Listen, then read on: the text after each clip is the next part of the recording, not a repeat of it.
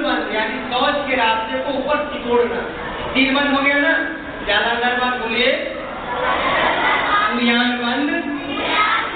और मूलबंद करेंगे इसका अभ्यास? आइए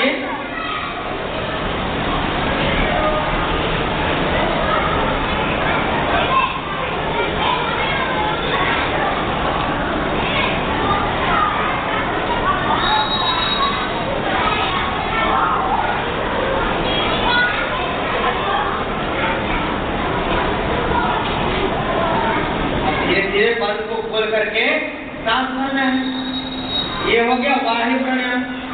ये करने से जीवन में कभी पाप